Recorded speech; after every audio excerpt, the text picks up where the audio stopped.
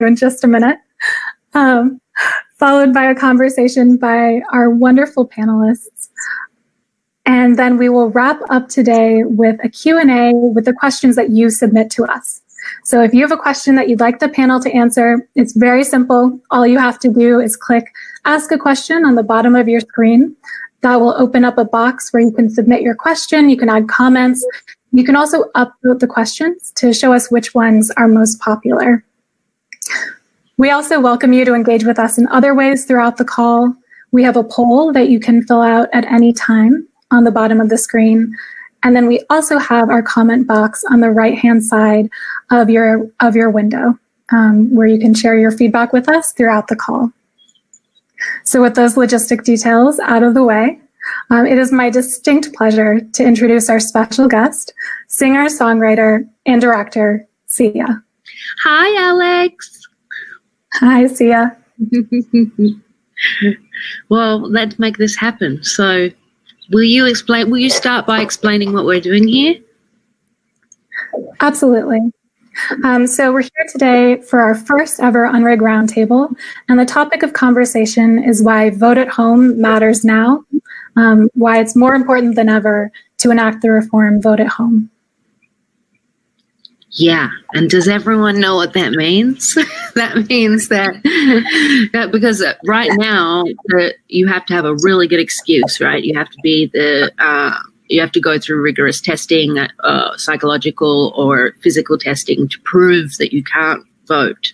Um, is that so at the moment? And what we want to do is make it a right, a right to a right to vote from home, um, as as uh, as opposed to being so very difficult to get access to and in and in and and and alien in a sense alienate people who can't afford to get a disabled sticker or um, or get the health care they need and essentially then it limits the sick and the poor to um, being being not being able to vote and they're the people whose voices we need to be listening to the most. You get asked all the time to support all kinds of causes every day. And you have limited time and you chose democracy. And for the last several years, you have leaned in so hard with us and have been incredible, giving us the rights to your songs, doing videos, uh, sharing on social media, hosting events. Why this issue? Why democracy? Why did you prioritize it? Um, being Australian and but living in America, I have uh, I don't have the right to vote. So um, and uh, uh, and if is America still as it once called it the most powerful country in the world. it was when I was growing up in Australia.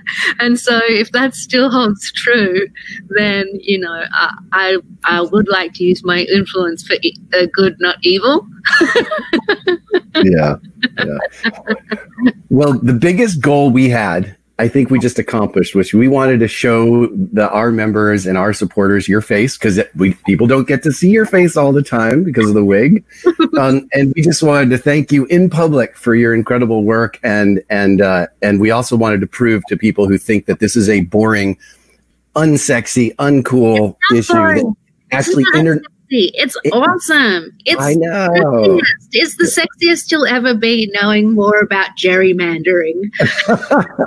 all right. With that, thank you so much for joining us and thanks for all of your support. You're welcome. I love okay. you. Okay. Yeah, take care. Thanks. Bye. Bye. Folks, welcome. Uh, so glad you could be here and uh, and so glad she could